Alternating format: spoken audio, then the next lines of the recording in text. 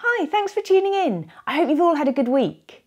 Today I'm going to be continuing my little series on the three elements of exposure, shutter speed, aperture and ISO. In the last episode we looked at shutter speed, today I'm going to talk about aperture. The aperture is the hole in your lens that controls how much light enters your camera. It works in the same way as the pupil in your eye, dilates in dark condition and contracts in bright ones. Aperture also controls the depth of field in your image, that is the amount of your picture that is sharp from front to back. Aperture and shutter speed are connected to get the perfect exposure. Now the best way I've had this described is like pouring water into a glass. If we tip water into a glass in one go, then it's fast. A wide aperture and a fast shutter speed, all the light gets in very quickly. If we pour it through a funnel, then it takes longer for the same amount of water to arrive in the glass because less can travel through this smaller hole at any one time. So with a wide aperture, such as f1.2, pouring water straight into our glass, then the shutter speed is faster. We're letting the light straight in.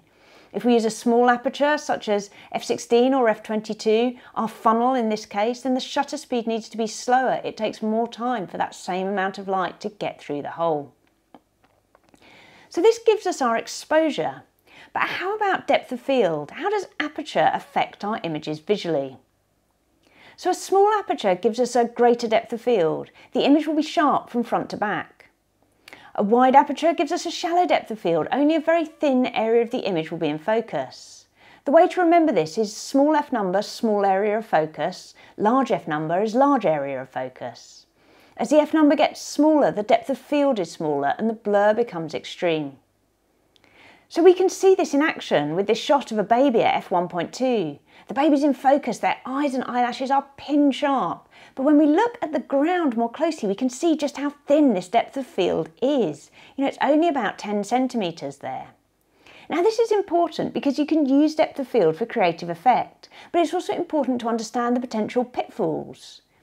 We might look back at those pictures of the toy doll and think, oh, f1.2 gives us by far the most interesting effect.